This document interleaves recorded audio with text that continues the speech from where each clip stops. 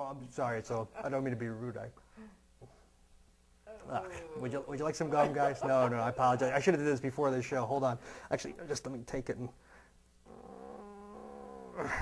stretch it right out into a fresh stick right there. You know what? Actually, what I'll do is I'll take the fresh stick and make it really fresh. Keep it wrapped like that for myself. Actually, I'm going to save this one. I'm not going to bother giving it to you guys.